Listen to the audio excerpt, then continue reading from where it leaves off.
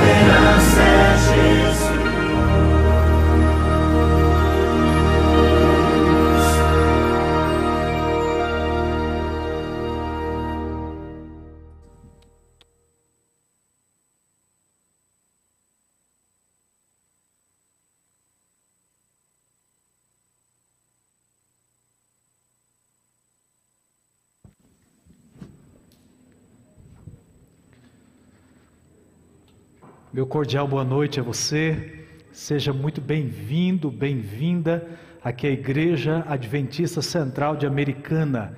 Você que nos assiste pelo canal do YouTube também é uma alegria.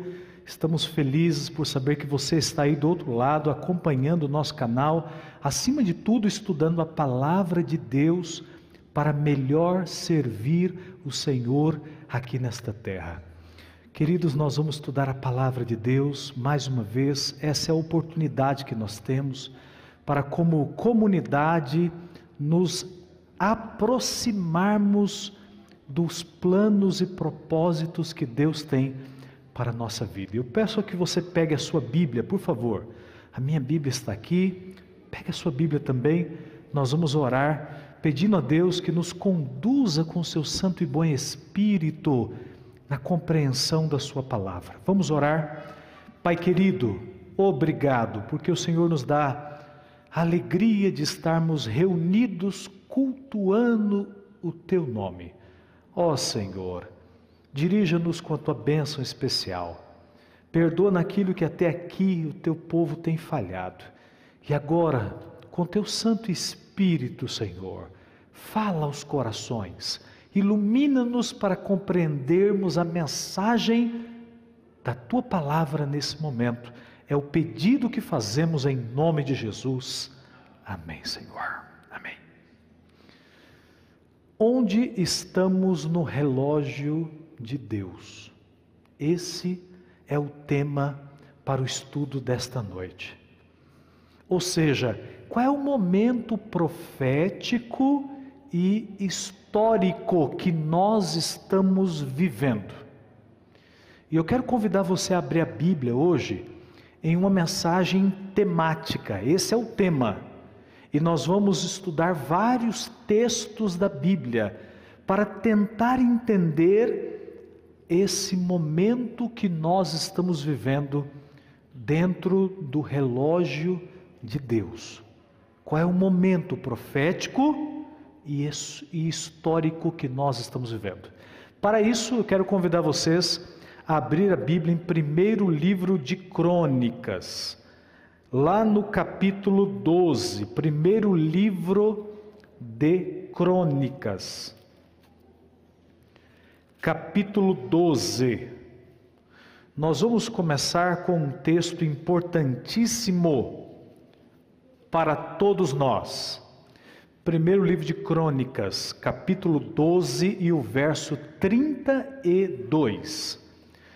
1 Crônicas 12, 32 diz assim: Dos filhos de Issacar, conhecedores da época, para saberem o que Israel devia fazer, duzentos chefes e todos os seus irmãos sobre suas ordens. Para um pouquinho. A tribo de Issacar tinha uma característica que marcava aquele povo das doze tribos de Israel. Qual era a característica marcante da tribo de Issacar? Qual era, gente? A Bíblia diz que eles eram conhecedores da época. Em algumas traduções dizem conhecedores do tempo. Eles sabiam que aquele era o momento, pelas profecias, que eles deveriam aceitar a ascensão do rei Davi ao trono. E é interessante, irmãos, que o povo que viveria os últimos dias da história da humanidade teria a característica da tribo de Issacar. Ou seja, o remanescente, o povo de Deus nos últimos dias vai estudar a Bíblia, as profecias e vai ter uma compreensão clara de qual é o momento histórico e profético que nós estamos vivendo. E eu pergunto, você sabe qual é o momento profético histórico que nós estamos vivendo? Bem, se você sabe, parabéns. Mas se você não sabe ainda, eu vou abrir a palavra de Deus com você agora, para tentar deixar claro que momento é esse. Vamos lá? Então, aonde nós estamos no relógio de Deus? Abra a Bíblia em Apocalipse 14 e vamos à nossa jornada para entender esse momento que estamos vivendo. Apocalipse capítulo 14, abra a palavra de Deus, eu estou abrindo a minha Bíblia aqui e você pode fazer o mesmo aí, aqui na igreja e também aí pelo canal do YouTube. Qual é o momento profético histórico que estamos vivendo? Apocalipse 14 e o verso o verso 6 e 7. Apocalipse 14, versos 6 e 7 diz assim: Vi outro anjo voando pelo meio do céu, tendo um evangelho eterno, para pregar aos que se assentam sobre a terra, a cada nação, tribo, língua e povo, dizendo em grande voz: Temei a Deus e dai-lhe glória, porque é chegada a hora do seu juízo, e adorai aquele que fez o céu, a terra, o mar e as fontes das águas. Para um pouquinho. Qual é o momento profético e histórico que nós estamos vivendo? Irmãos, nós estamos vivendo no dia do juízo escatológico de Deus. Nós vivemos em pleno momento que o juízo de Deus está se desenrolando. E eu comentei ontem aqui, ok, que o juízo começou de acordo com a maior profecia de tempo da Bíblia, que é as duas mil e trezentas tardes e manhãs de Daniel 8,14. O juízo começou em 22 de outubro de 1844. Desde esta data, nós já estamos no dia escatológico do juízo de Deus. E esse juízo vai se desenrolar em três fases: a primeira investigativa, a segunda comprobatória e a terceira executiva. Então, primeiro ponto fundamental para nós. Aonde estamos no relógio de Deus? Nós estamos no dia do juízo. E aí eu convido você a fazer um exercício espiritual. Quando você voltar para casa, estude Levítico capítulo 15 e 16 para você entender como que acontecia o dia do juízo no antigo Israel e como o povo se preparava para ele.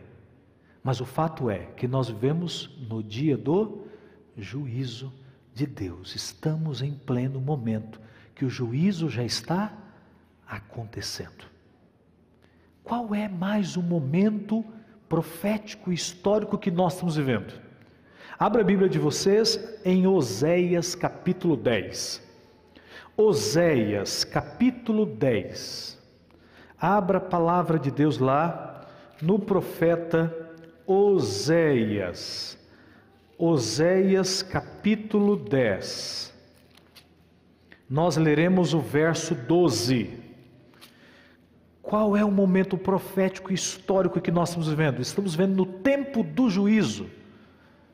E estamos vivendo também de acordo com Oséias, no verso 12, ele diz assim, do capítulo 10: Então eu disse: Semeai para vós outros em justiça, ceifai segundo a misericórdia, arai o campo de Pôlcio, porque é tempo do quê? De buscar ao Senhor, até que ele venha e chova a justiça sobre sobre vós. Qual é o tempo que estamos vendo? Além de ser o tempo do juízo, estamos vendo no tempo de buscar ao Senhor. Mas pastor, depois do pecado, sempre foi tempo de buscar ao Senhor, concordo com você. Mas hoje, muito mais. Eis que esse é o momento que se você não buscou a Deus, agora é que você tem que redobrar a sua atenção nessa busca, enquanto nós podemos achá-lo. Qual mais é um momento profético histórico que nós estamos vivendo? Abra a Bíblia em Romanos 13. Romanos 13, verso 11. Abra a palavra de Deus lá. Faça esse exercício espiritual agora. Romanos 13, verso 11. Qual é o momento profético histórico que nós estamos vivendo? O apóstolo Paulo vai dizer aqui, no capítulo 13, verso 11, olha só. E digo isto a vós outros que conheceis o tempo, já é hora de vos despertar do que? Do sono, porque a nossa salvação está agora mais perto do que quando no princípio cremos. Qual é o momento que vivemos?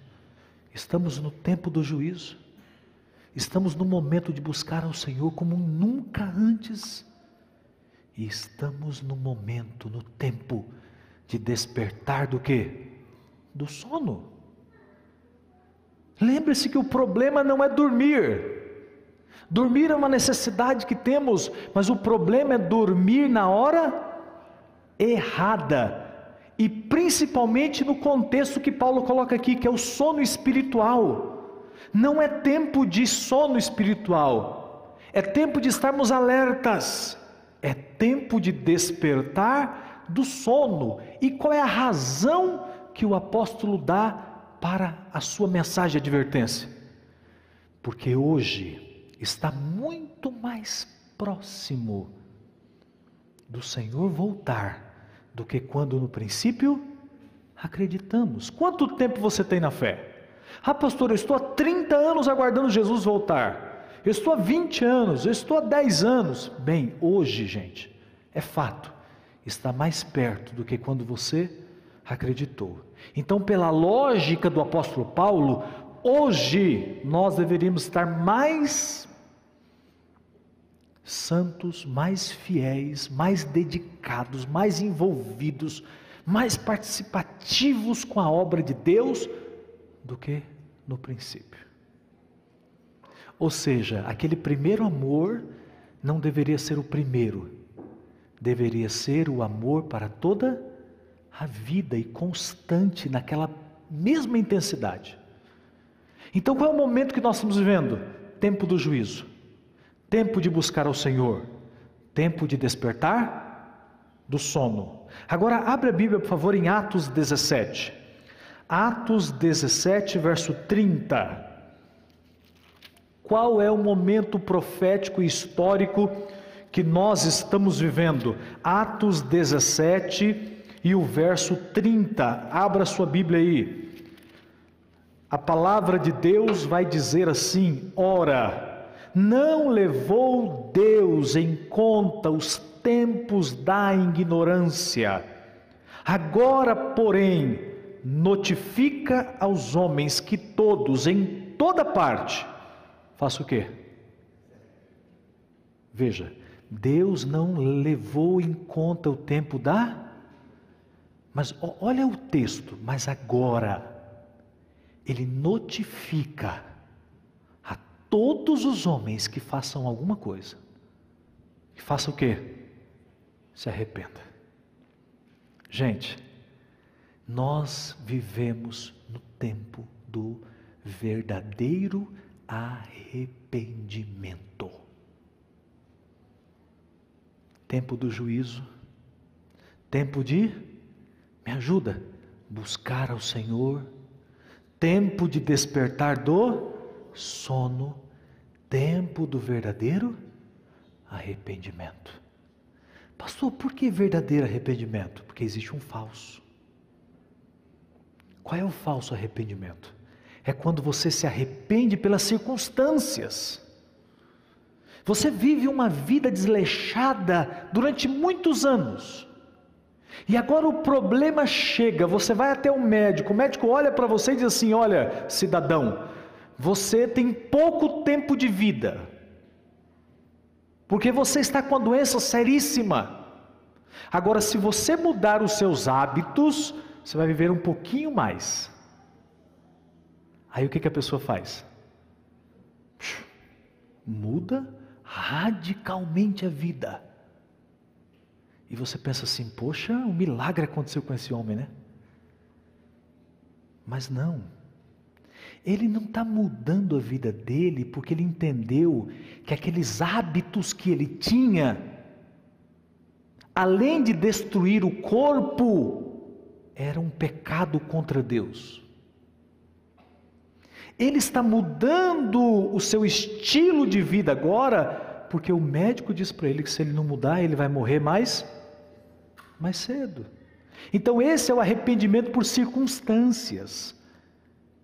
Deus pode trabalhar em uma situação dessa? Pode, mas não é o ideal, gente. Deus quer que o nosso arrependimento seja o verdadeiro. E qual é o verdadeiro arrependimento? É a tristeza pelo pecado. Antes de nós cometermos qualquer pecado, Deus toca a nossa mente e nos diz: Isso é pecado, filho. E você racionalmente vai poder escolher praticar ou não, ir por aquela linha de pensamento pecaminosa ou mudar os seus pensamentos. Então, o verdadeiro arrependimento é quando você entende o toque de Deus, diz: Filho, não é por aqui, filho. Não, filho, por aqui não. O caminho é esse, andai por ele. E você entende a voz de Deus, você diz: Poxa, Senhor, me perdoa, e vou por aqui mesmo, não é por lá não. Ou quem sabe você já está cometendo o pecado e Deus está ali, não, filho, sai daí, não é por aí. E você reconhece, cai em si de Senhor, me perdoa. Além de estar maltratando o meu corpo, a minha vida, destruindo a mim mesmo, eu estou causando tristeza ao seu coração. Esse é o verdadeiro arrependimento. Esse é o verdadeiro. E é tempo de nós nos arrependermos genuinamente. Pastor, qual mais é o momento que nós estamos vivendo? Abra a Bíblia de vocês em Mateus 25. Mateus capítulo 25, eu estou abrindo a minha Bíblia aqui. Abra a palavra de Deus lá. Mateus 25. Nós leremos o verso 7. Você conhece o que está sendo descrito aqui na narrativa de Mateus 25? Nós temos a parábola das dez virgens.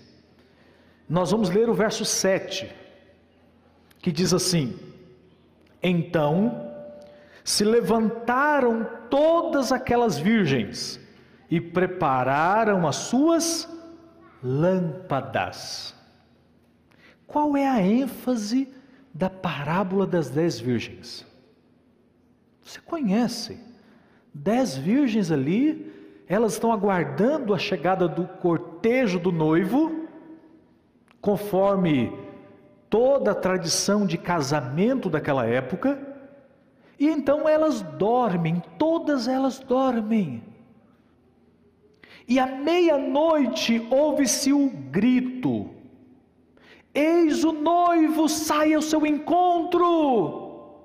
E elas acordam desesperadas, não podemos perder o cortejo do noivo. Esperamos tanto pelo noivo, pela festa de casamento, não podemos perder. E elas se levantam assim rápido, só que tem uma coisa: é a noite. Que horas da noite? Meia-noite. E para andar meia-noite tem que ter o quê? Tem que ter o quê? Tem que ter lâmpada, gente, acesa. Tem que ter algo para clarear o caminho. Está escuro. E elas então pegam a sua lamparina, estão prontas para sair correndo. De repente, cinco delas percebem: puxa, nós temos aqui a lamparina, mas o nosso azeite já está. Não temos para acompanhar o cortejo. Precisamos de mais azeite. E elas então olham para cinco que tem e dizem: Ei, vocês que têm azeite a mais, empresta para a gente. E as outras dizem: não, nós não podemos emprestar para vocês, porque se nós emprestarmos para vocês esse azeite, vai faltar para nós, e aí nem vocês e nem a gente. Queridos, o azeite nessa parábola é símbolo de quem? Do Espírito Santo. Se você quer ter luz para caminhar a meia-noite da história da humanidade, você precisa estar preparado, preparada, com porção dobrada do Espírito na sua vida. E quando eu falo porção dobrada, gente, eu não estou dizendo aqui que o Espírito Santo é dado em porções, tá? Só estou dizendo que nós precisamos ser renovados por Ele e ter certeza da presença dEle na nossa vida todos os dias. O fato é que a ênfase dessa parábola aqui é a preparação. Não adianta nada nós estamos aguardando o cortejo do noivo e o noivo chegar e nós não termos condições espirituais para ir com ele. Entendeu? Então, qual é o tempo que nós estamos vivendo? Além de ser o tempo do juízo, tempo de buscar ao Senhor, tempo de despertar do sono, tempo de arrependimento, nós vemos no tempo de preparação. E preparação é algo amplo, porque envolve muitas, muitas coisas relacionadas à sua vida. E esse é o tempo, gente. Não dá para dizer assim: ah, quando Jesus voltar, então eu mudo o meu estilo de vida, eu mudo os meus hábitos e o Senhor me leva. Não dá. Por quê? Porque, primeiro, aquilo que nós chamamos de porta da graça vai se fechar em um momento que nós não sabemos quando. Antes de Jesus voltar, a decisão já estará tomada a favor ou contra ele, para a salvação ou para a perdição. Quando Jesus voltar, o destino da humanidade já está selado. Por quê? Porque antes dele voltar, ele vai parar de interceder no santuário celestial. E é nesse momento que a porta da graça fecha. Quem está salvo, está salvo. Quem está perdido? Apocalipse 22, 11. Então, eis que esse é o tempo sobremodo oportuno de preparação. Pastor, qual mais é o tempo profético e histórico que nós estamos vivendo? Zacarias. Abre a Bíblia lá no profeta Zacarias, capítulo 10. Profeta Zacarias, no capítulo 10. Eu estou abrindo a minha Bíblia aqui Vamos ao mesmo exercício espiritual. Abra a palavra de Deus no capítulo 10 de Zacarias. Fica no finalzinho do Antigo Testamento. Aí no verso primeiro. Qual mais é o tempo que estou vivendo? Zacarias diz: Pedi ao Senhor chuva no tempo das chuvas serôdias ao Senhor que faz as nuvens de chuva, dá aos homens aguaceiro e a cada um erva no campo. Qual é o tempo que nós estamos vivendo? Irmãos, nós estamos vivendo no tempo de pedir chuva. E lá na Palestina, na, na época de Jesus, havia dois momentos especiais de chuva tinha a primeira chuva, que era uma chuva mais fraca, chamada chuva temporã. Depois que o grão era semeado, essa chuva vinha para molhar a terra e a semente, para então ele brotar e começar a crescer.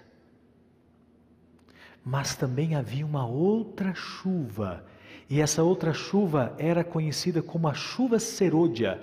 E essa chuva caía não mais agora no início, mas já no processo de amadurecimento do fruto.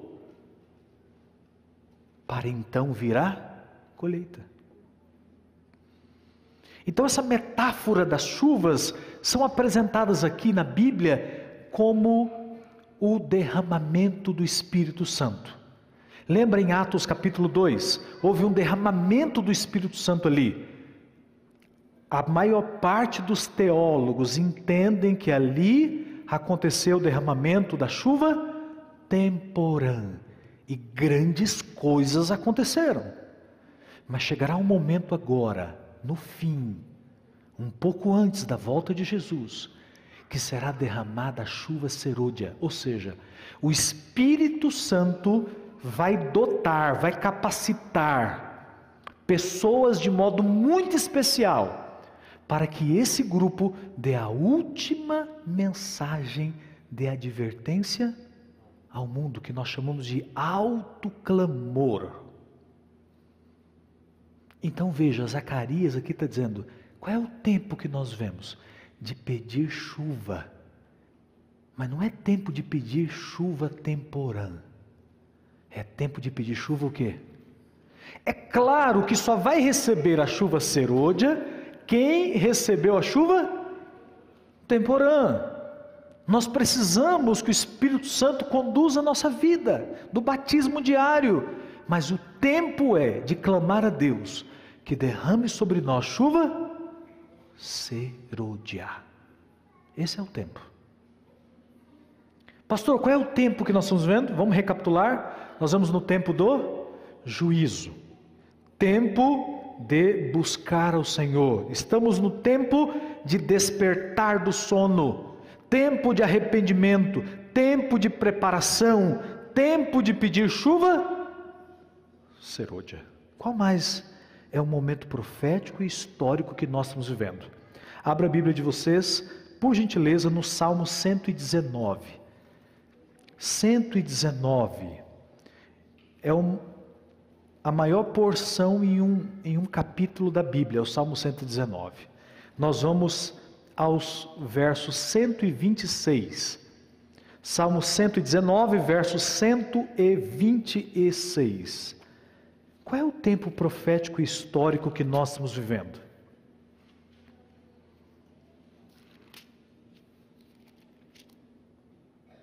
Verso 126 diz assim: Já é tempo, Senhor, do que? Bora, lê aí na tua Bíblia. Já é tempo, Senhor, do que? Já é tempo, Senhor, para intervires pois a tua lei está sendo violada. Salmo 119, verso 126. Para um pouquinho, olha para mim aqui.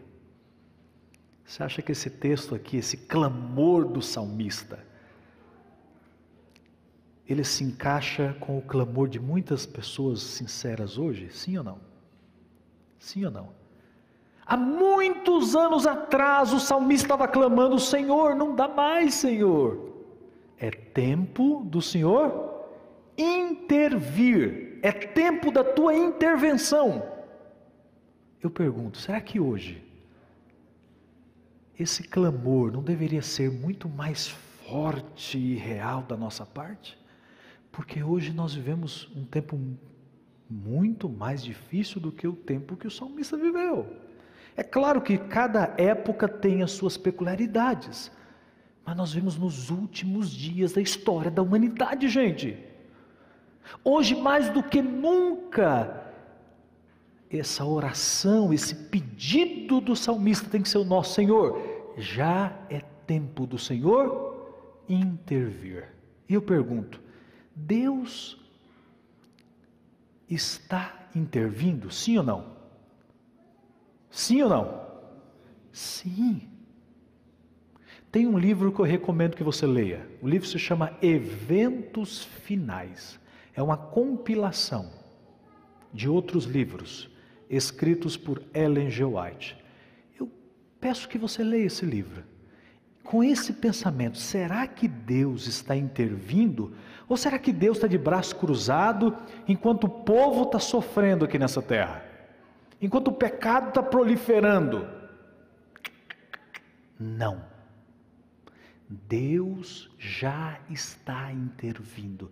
Deus sempre está fazendo intervenções na terra. E essas pequenas intervenções de Deus, elas são cumulativas e elas vão redundar em uma grande intervenção, que será o quê? Qual será? A volta de Jesus.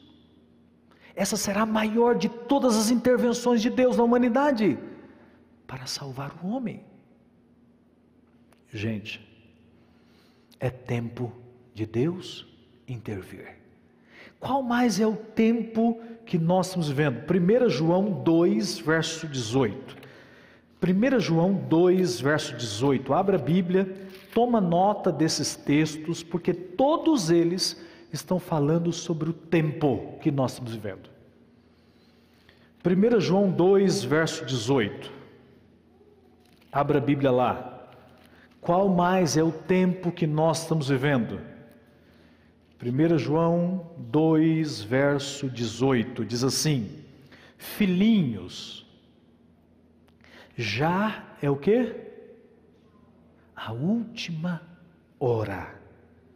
E como vistes que vem o anticristo, também agora muitos anticristos têm surgido, pelo que conhecemos que é o que? A última hora.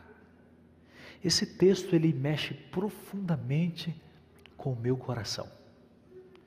Primeiro, pela maneira carinhosa e profunda que Deus fala comigo através dele.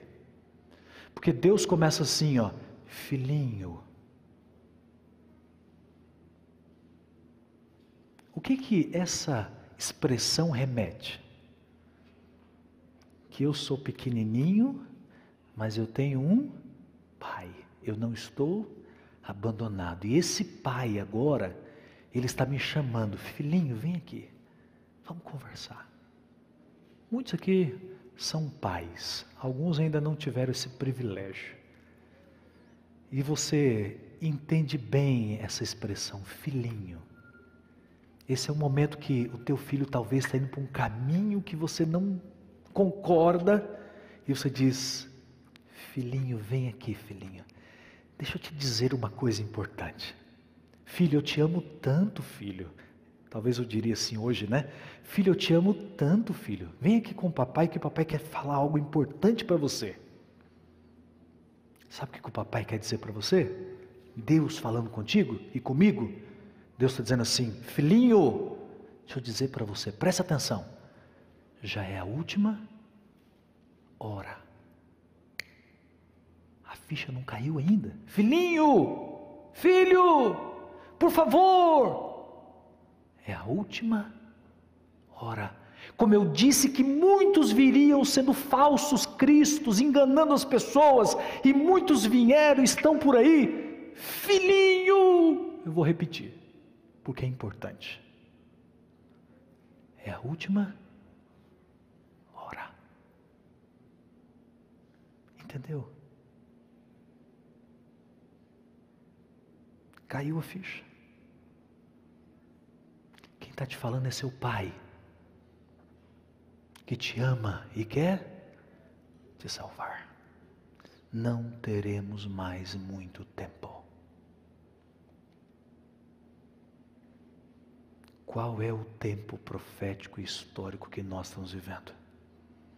Abra a Bíblia de vocês agora, de 1 João você vai comigo para 2 Coríntios, no capítulo 6. Qual é o tempo profético e histórico que nós estamos vivendo? 2 Coríntios, no capítulo 6 e no verso 2. 6, verso 2. Qual é o tempo profético e histórico que nós estamos vivendo? Diz assim a palavra. Porque ele diz: Eu te ouvi no tempo da oportunidade e te socorri no dia da salvação.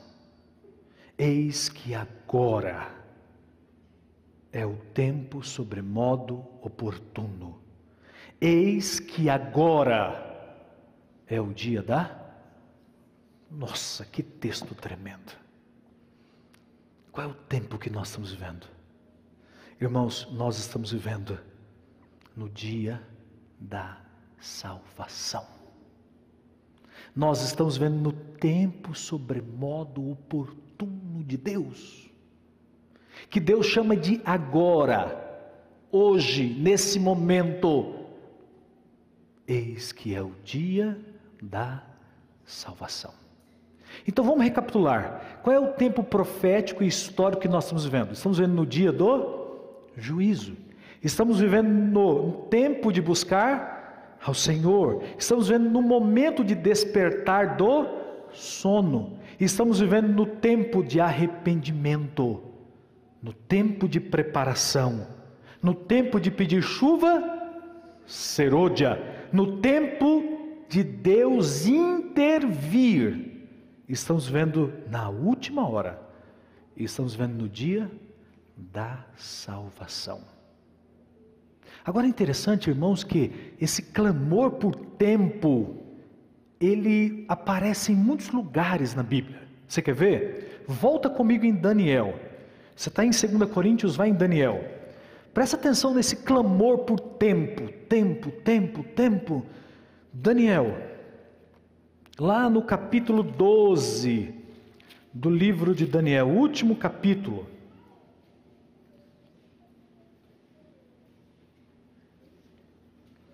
Nós leremos a partir do verso 7, Daniel 12, a partir do verso 7. Podemos ler até até o final do 7 mesmo, vamos ficar nele, é um verso bem grande. Diz assim: Ouvi o homem vestido de linho, que estava sobre as águas do rio, quando levantou a mão direita e a esquerda ao céu, e jurou por aquele que vive eternamente, que isto seria depois de um tempo, dois tempos e metade de um tempo. E quando se acabar a destruição do poder do povo santo, estas coisas todas se cumprirão. Para um pouquinho. Então, Daniel aqui, gente, ele está preocupado com o tempo, porque ele recebeu revelações poderosas, fortíssimas. O que Deus revelou para Daniel é algo que transcendeu, ia passar dos dias dele, e é tanto que chegou aos nossos dias e até o final. O livro de Daniel é incrível. E Daniel, irmãos, ele tem um clamor por tempo. Quanto tempo, Senhor? Quanto tempo, Senhor? E Deus diz para Daniel: Daniel, um tempo, dois tempos e metade de um tempo. O Apocalipse vai apresentar o mesmo período de tempo, como três anos e meio e quarenta e dois meses, mil duzentos sessenta dias, que em profecia, mil duzentos sessenta anos. Quanto tempo, Senhor? Um tempo? Dois tempos? E metade de um tempo. Agora vai em Apocalipse comigo. Apocalipse no capítulo 6. Quanto tempo, Senhor? O clamor por tempo. Quanto tempo mais, Senhor? Apocalipse no capítulo 6. Abra a Bíblia. Apocalipse no capítulo 6. Nós leremos o verso 11. Quanto tempo mais, Senhor? Diz assim a palavra.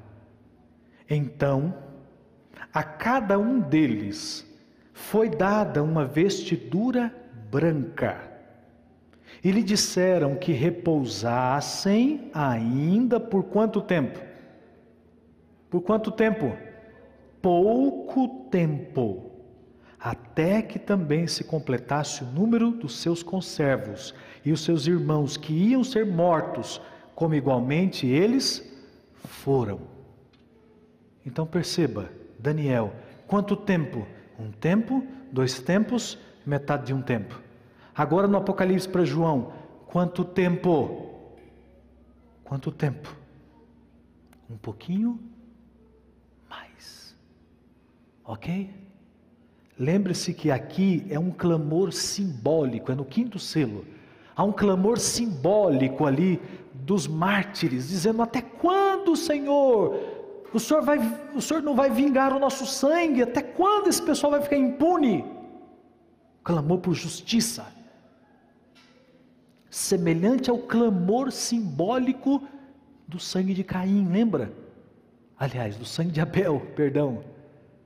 Caim matou Abel. E Deus foi até Caim, disse: Caim, cadê teu irmão?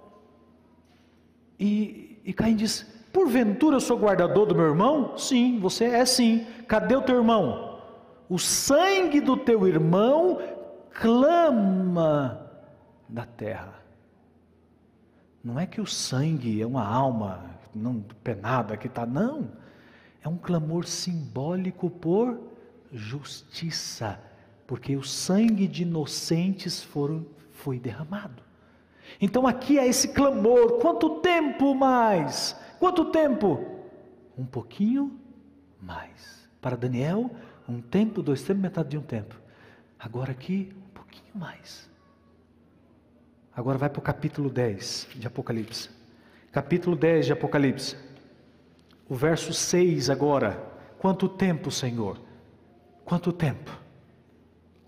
Apocalipse 10, verso 6: E jurou por aquele que vive pelo século dos séculos, o mesmo que criou o céu, a terra, o mar e tudo quanto neles existe, já não haverá demora. Para um pouquinho. Esse texto aqui ele poderia ser traduzido como já não há tempo. Então perceba, quanto tempo, Senhor? Um tempo, dois tempos, metade de um tempo. Quanto tempo, Senhor? Só um pouquinho mais. Quanto tempo, Senhor? Já não há tempo. Acabou o tempo. Peraí, pastor, como é que é? É isso mesmo que você ouviu. Já não tem mais tempo. Ou seja, não existe nenhuma profecia de tempo para se cumprir, para que Jesus volte. Nenhuma. Todas as profecias de tempo já se cumpriram. E a pergunta é: por que então, pastor, Jesus não voltou? Abra a Bíblia de vocês em 2 Pedro, no capítulo 3. Só voltar um pouquinho aí. 2 Pedro, no capítulo 3.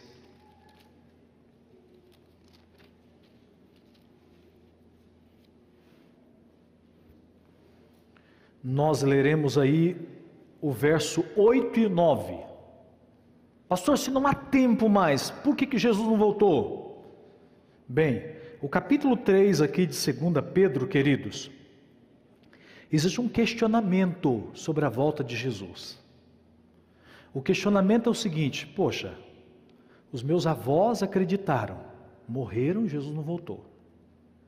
Os meus pais acreditaram, morreram e Jesus não voltou. Ah, não vou acreditar nesse negócio mais não. Jesus não vai voltar não. Então pessoas se levantaram agora questionando a promessa de que o Senhor vai voltar. Com base na experiência familiar. Poxa, minha família já se foi. Todas elas, todos eles esperaram e Jesus não voltou. Cabo, Jesus não vai voltar. E aí começaram a falar que Jesus não ia voltar. E o apóstolo Pedro agora vai dar a explicação dele, por que, Jesus não voltou ainda. Por quê? Verso 8, olha lá. Há todo, todavia uma coisa, amados, que não deveis esquecer: que para o Senhor, um dia é como mil anos e mil anos como um dia. Vocês estão questionando aí se Jesus vai voltar ou não? Já não há tempo mais, de acordo com as profecias bíblicas. Por que, que Jesus não voltou ainda? Porque você precisa entender a perspectiva divina. Você precisa compreender que o tempo para nós não é igual ao tempo para Deus. Pastor, mas eu achava que Deus não, não interagia, não, não tinha um tempo para ele. Porque quem sabe você aprendeu desde pequeno que Deus é atemporal, fora do tempo. Gente, Deus não depende do tempo. Mas a pesquisa bíblica já comprovou que Deus age dentro de uma temporalidade divina, que a palavra chama de eternidade eternidade. E ele sai da temporalidade dele e entra na nossa temporalidade. Agora a diferença é que você e eu dependemos do tempo, envelhecemos e morremos, Deus não. Então Pedro vai explicar por que, que o Senhor não voltou ainda? Porque o tempo de Deus é um, o nosso é outro. Para Deus, um dia é como mil anos, e mil anos é como um dia. Para nós, mil anos é muito, mas para Deus é pouquíssimo. Então você tem que considerar que a perspectiva de tempo para Deus é uma, para nós é outra. Por que mais que o Senhor não voltou?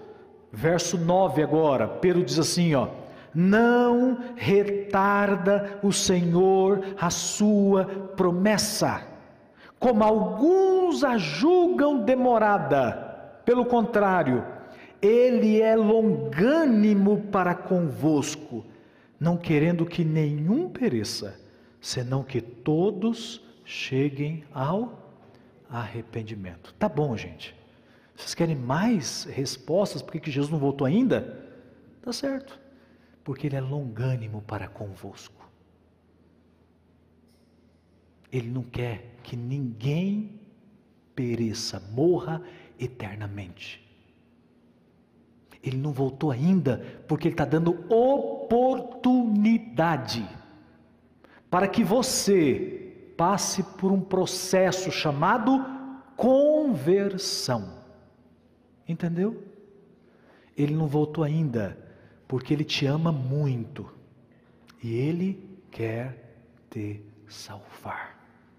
E quem sabe se ele voltar agora, talvez você ficaria fora do céu.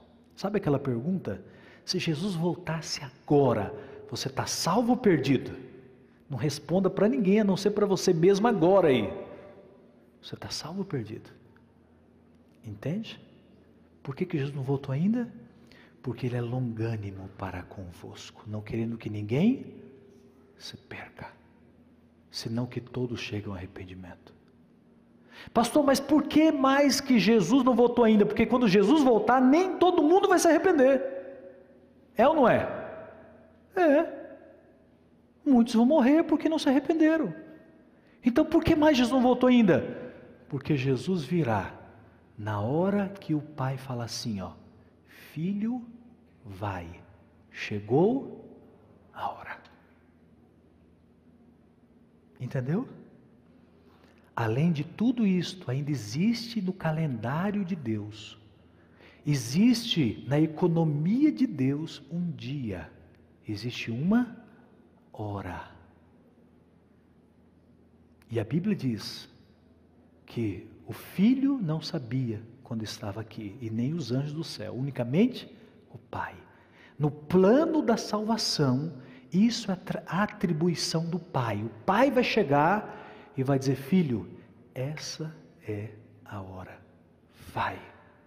Chegou a hora. Mas o que, que a Bíblia diz? Que nós estamos muito próximos desse momento. Então ficou claro para você o tempo profético e histórico que nós estamos vivendo. Agora a pergunta que eu faço é: o que você vai fazer nesse tempo?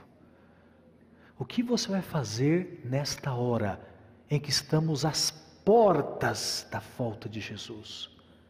Como diz um antigo pregador da nossa igreja, né? Ouvimos os passos de um Deus que se aproxima. Nós ouvimos os passos. O que você vai fazer? Eis que esta é a hora é a hora de se entregar plenamente a Jesus. Eis que esta é a hora de clamar pelo perdão dos pecados. Eis que esta é a hora de dizer: Senhor, salva-me, porque me sinto perdido. E eu quero perguntar: não quer você dizer para Deus que chegou a hora? e se entregar definitivamente a Jesus? Não quer você tomar essa decisão? Pô, pastor, que pergunta? É claro que nós queremos. Então nós vamos cantar agora. Pode vir aqui quem vai cantar. Nós vamos cantar agora. Chegou a hora. Enquanto nós estivermos cantando, você poderá tomar a sua decisão de se entregar plenamente a Jesus. E se essa for sua decisão, enquanto nós estivermos cantando aqui, eu vou pedir que você fique em pé aí, aqui na igreja. E você que nos assiste pelo canal do YouTube, se é desejo de você se entregar plenamente a Jesus, eu vou pedir que você, talvez você não possa ficar em pé, não sei de onde você está assistindo, quem sabe de uma cama de hospital, mas você pode aí tomar a sua decisão. Quem sabe você pode escrever, você pode colocar aí nos comentários desse vídeo, você coloca assim: Eu aceito, pastor, Jesus como meu Salvador. Eu quero colocar a minha vida nas mãos de Jesus, porque eu entendo que chegou a hora.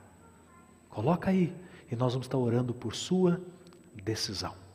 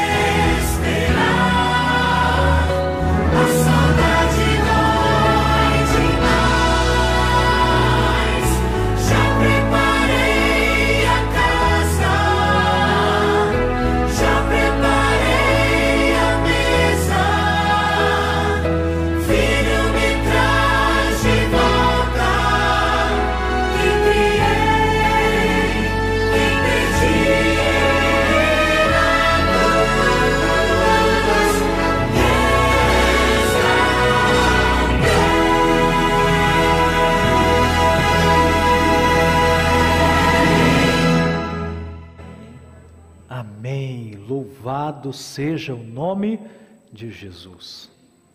Muito em breve, aquele que prometeu que vem, virá e não tardará. Mas eu pergunto, está você disposto a colocar a sua vida nas mãos de Jesus? Quem sabe eu estou falando para alguém aqui que tem sentido o toque do Espírito Santo, mas está relutando contra Deus. E Deus está insistindo com você, sabe por quê? Porque Ele quer te salvar. O Senhor não retarda a sua promessa, Ele é longânimo para convosco, não querendo que você se perca, senão que você alcance a vida, a vida eterna. Você não quer se entregar plenamente? Ah, pastor, eu, é claro que eu quero. Eu tomei minha decisão, eu fiquei em pé. Eu escrevi aí no canal do YouTube que eu aceito. Parabéns, louvado seja o nome de Deus na sua vida. Mas eu quero ir um pouquinho além. Eu estou falando não apenas para o canal do YouTube, eu estou falando para uma igreja que está reunida aqui agora de modo presencial, físico e muitas pessoas estão me escutando aqui. Eu quero perguntar: tem alguém entre nós que publicamente uma decisão ao lado de Jesus e dizer: Senhor, eu já me levantei, eu já aceitei, mas eu quero publicamente dizer que esta é a hora da minha entrega. Eu aceito a Jesus como Senhor e Salvador da minha vida. Tem alguém que gostaria de fazer essa entrega pública? e receber uma oração especial aqui da frente, esse é o momento da sua decisão.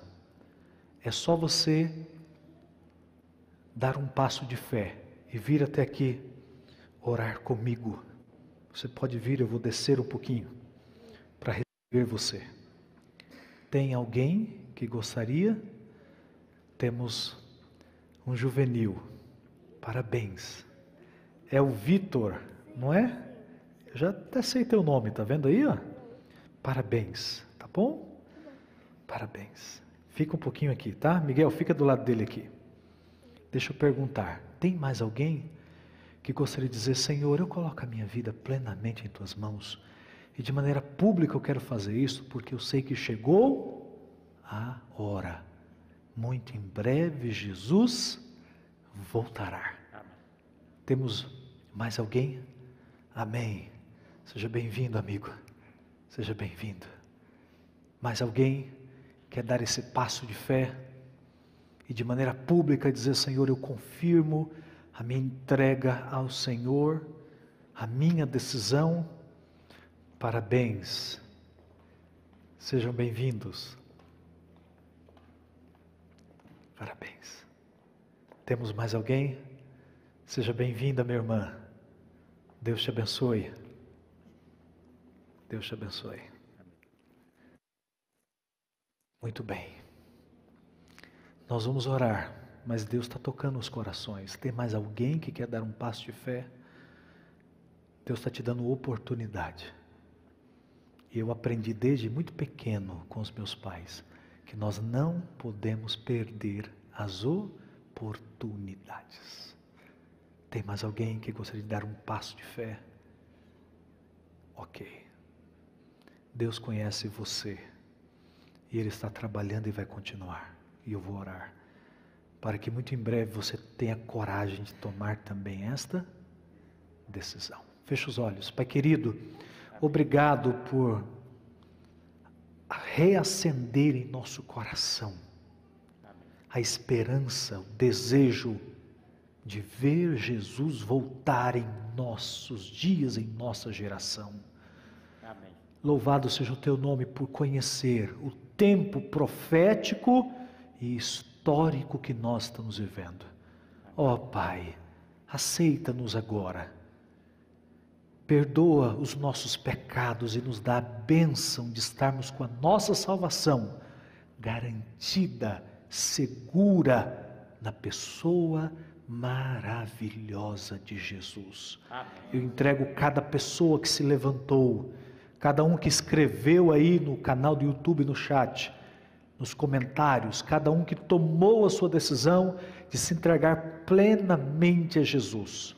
Nós fomos além no nosso apelo e fizemos um chamado para aqueles que quisessem dar um passo de fé. E alguns vieram à frente, ó oh, Senhor, o Senhor os conhece também. Abraça cada um deles, Pai. Aceita de modo especial essa decisão, essa vinda para se entregar mais e mais à pessoa de Jesus.